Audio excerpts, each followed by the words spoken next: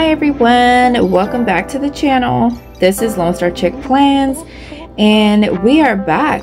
Um, I feel like we just spoke, right? But uh, anyways, we're, we're back with a new video. Um, this one is going to be our budget with me for paycheck number two of August. And um, yeah, let's get into um, the numbers. Um, let's just go for it. Um, the spreadsheet is, uh, I want to start with the spreadsheet. The spreadsheet is always linked in my description below. As far as I know, the links are all still current and they still work.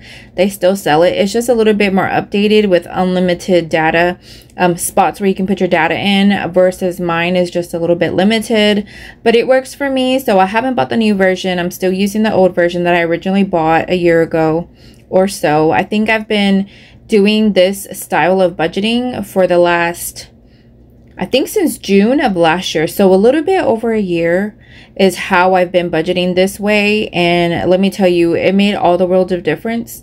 Um, for me, um, I do like the digital budgeting. Um, I also like the paper. So sometimes from time to time I do the paper.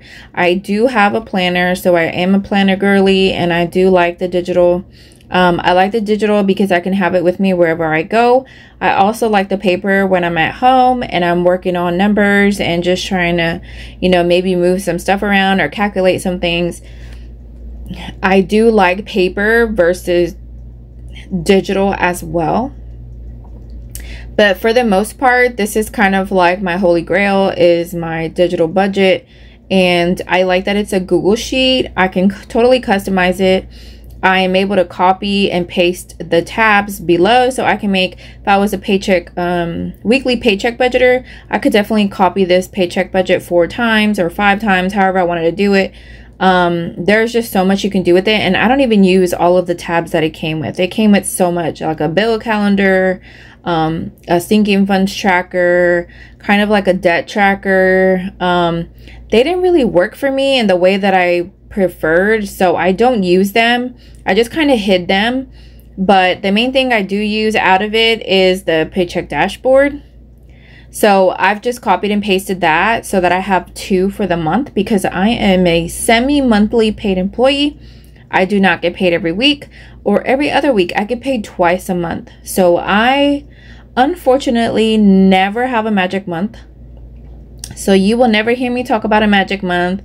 So sad, I know. Um, tell me about it. But um, I do get paid twice a month, and it's usually on like about the 15th and the 30th, 31st, something like that. So, because of my banking institution, I do get paid a little bit earlier. So, I am able to take advantage of getting, you know, adjusting my budget to a couple of days earlier, a couple of days later, however I like, because of the way I get paid.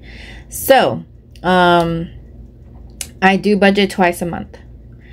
So, for this paycheck, this is um, if you watched my last budget closeout video or my last budget with me for the first paycheck of July, you'll know that that paycheck for July is bill heavy. So I have aligned most of my bills to fall within that paycheck. And this paycheck number two is pretty much bill free um, other than my Hulu subscription. But, um, and that's only because I have a great price. Otherwise, I would have canceled and have it all aligned with my first paycheck. But because it's such a great price, um, I left it alone and it's very minimal. So I, it's like it's not even there. But on this paycheck is a paycheck that I usually pay debt with. So, um, because I have aligned my bills to the first paycheck, this whole paycheck can be all debt payments. So, that's how I've kind of lined it up. Um, so for the first of the month, we just kind of get all the bills out of the way, and the second paycheck of the month is all debt. So I kind of like it um, that way so that when we're starting the next month, we're starting off fresh. But anyways, so that is kind of how my budget works. Um, I don't have a mortgage. I don't have car notes um, right now. We have everything. Everything that we have is paid. So you will not see that in my budget. Sorry um we have already paid those things off. So we've already have our house paid off our vehicles are paid off. So right now basically we just have bills and then we have our home insurance our windstorm because we live close to the coast we have to have hurricane insurance.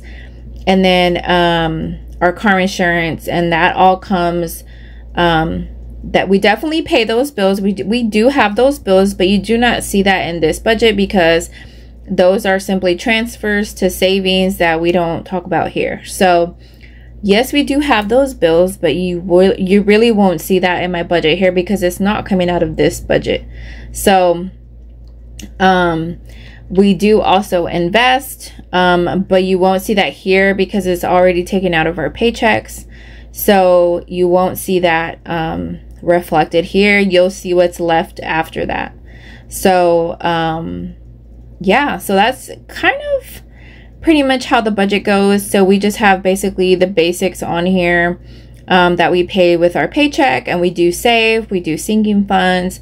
Um, we do save for our emergency fund or e-fund or however you want to call that. And then we pay bills.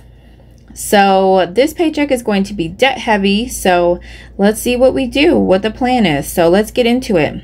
So we're going to start this budget on or about August the 14th and it's going to go through about the 29th of the month. So rollover from last paycheck was $26.42.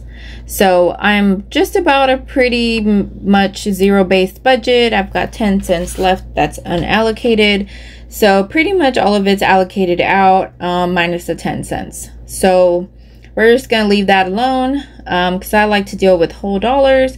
I'm not worried about the cents. Um, I am worried about the cents, but I'm not worried about the cents as far as like the budget. I'm okay with 10 cents sitting there.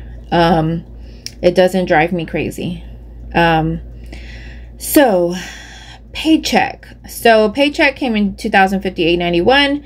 Um, my son contributed 200 and we deposited $153 for my Canva and Google One renewal, annual renewals. So, um, we're definitely um, deposited that money so that we can pay those bills because those came from our sinking funds. So, we'll get into savings here. So I have 125 off the top for our house savings, and this is for our emergency savings, maintenance savings, um, just kind of a catch-all savings for our house or household, um, as we'd like to say.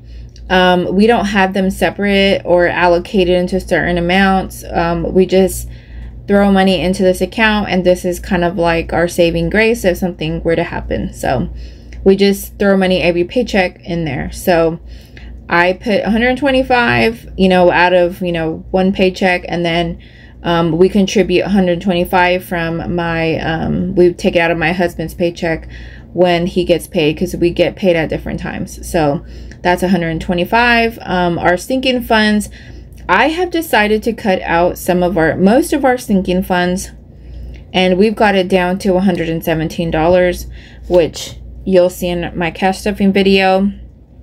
I have kind of cut a lot of these out this month because I have a goal every month of trying to pay a thousand dollars towards Discover to try to get it paid as fast as possible. So in order to make that happen, I did have to cut this back a little bit and so I decided to leave in Christmas and we're going to do two envelopes instead of our normal three. So we've got 35 and 36 because we're also getting into the higher numbers.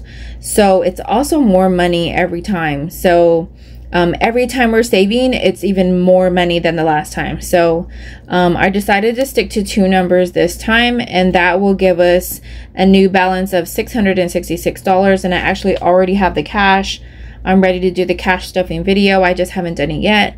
And we're doing like the 52 envelope challenge for that. So the envelopes that we're going to be stuffing is uh, envelope 35 and 36.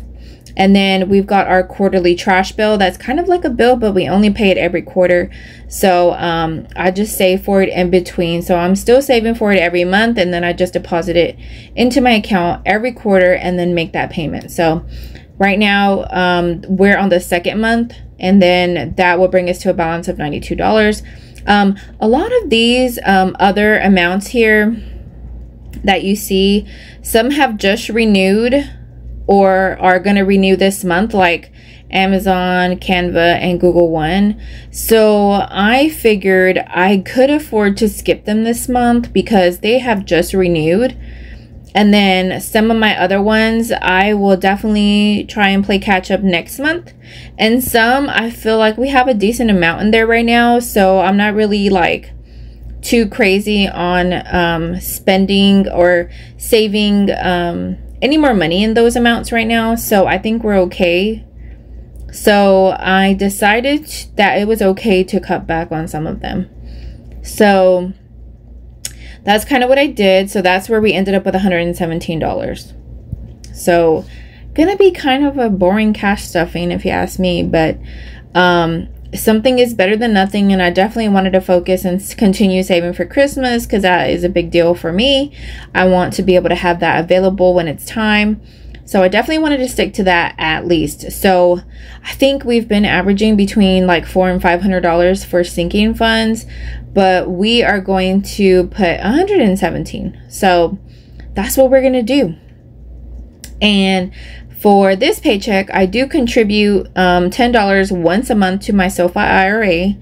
Um, I just opened it on the side um, and I am investing in that. And I actually have a few hundred dollars already from just the last year of contributing $10. So it's a little bit, but a little bit goes a long way because as it's being invested, it's actually growing. So it's actually doing pretty good. So I'm happy with the results so far.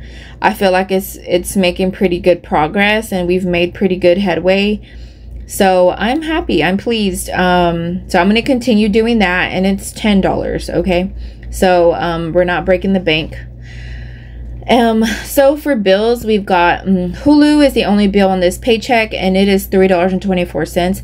I noticed that last month I put thirteen dollars and twenty four cents. I don't know where I got that from. Maybe I fumbled, you know, fat fingered it or something. But um, so anyways, it should be three dollars and twenty four cents. So um, I went ahead and changed it on this on this month, and I fixed next month's already because I already started to budget for next month. So um, I went ahead and fixed it, but I can't believe I did that and I didn't see that. I don't know what happened. But anyways, um, loan number two. So for debt, our plan is to pay 275 for loan number two, which is my student loans. Um, and then that's our normal amount. And then um, Discover, look at that number, 1,000. So that's what I'm focused on paying. And if everything goes to budget, then we have budgeted with 10 cents left over and we will be able to make the $1,000 payment. So I am definitely happy with that. So for groceries and variables, um, we've budgeted $907.99 our actuals we've already kind of started spending some money so that is 204.69 so we still have $703.30 in the budget. So we've budgeted $400 for groceries which is the usual amount. But if you guys have watched my last budget closeout um, I'm hoping to not spend the whole 400 but I also want to do a big meat stock up again at Sam's so I may or may not I'm not sure. I may wait till the next paycheck. Um, and then just buy whatever to get by for now. So that's 400. Um, we budgeted $100 for eating out, um, 75 for gas. I'm budgeting zero for pets because we just bought her a bag of dog food. I don't think we'll need one before the next paycheck. So I'm going to budget zero. For beauty, this is just $65 to get my lashes refilled. Um, spending money, um, I put 116 because from what I cut out of my sinking funds, I had some extra cash left over. So I bumped up eating out to 100 and then I put the rest, which was $16 towards spending because Lord knows we need it there. So we've already accounted for $50 of it and so we got 65 left. Um 119.99 for the renewal of Canva for the year and the renewal of my Google One subscription for $32. And this is so that I can have extra storage in my Google Google Drive. So um yeah, so that is what we're looking like. Um, I've already kind of spent a little bit of money, so I did save 125 towards our house savings. I did pay for my student loan, that was 275. I did contribute $10 to my IRA. And then I did buy a coffee for $2.17 at McDonald's. Um, I did go out for lunch with my um, coworkers at Chuy's. Um, haven't settled the amount yet because we're going to be splitting it. So I'm waiting to see how much that nets out to. Um, I did buy my order on Shein. That was 50.28, and then my renewal of Canva 119.99, and sinking funds for 117, and then I did put gas for 32.25 today Saturday. So um, that is what we got so far. So yeah, you guys, um, that's kind of how we're looking. I'm hoping to be able to make that thousand dollar payment. So we'll see how that goes. Um, and that's how we're doing it. So um, that's kind of how we're looking um, so far. And hopefully, paycheck goes to plan. We do have a couple of birthdays coming up. So that may kind of go towards spending and eating out. Um, my mom's birthday is coming up in another week or so. My um, niece's birthday is also today, tomorrow, tomorrow, uh, Saturday. And then um, my cousin's birthday is the week after that. And then my mom's birthday. So we've got a lot of August birthday stuff going on, which is, you know, also going to affect spending a little bit. But hey, we're here for the memories and the family stuff. So that's what we're going to do. But anyways, that's it for the budget for this paycheck. Paycheck number two for the month of August. And I'll see you guys in the next one. Bye.